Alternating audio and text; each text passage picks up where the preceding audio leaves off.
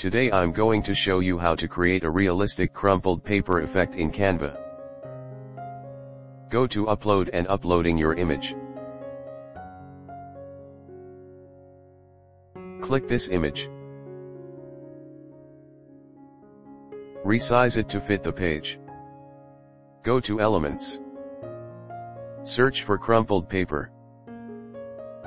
Go to Photos. Choose this one. Go to Apps.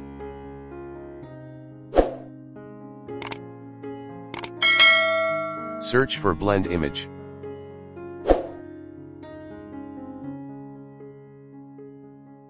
Choose this app. Top player select this crumpled paper. Click use selected image. The bottom layer click in your image. Click use selected image. Choose multiply. Click add to design.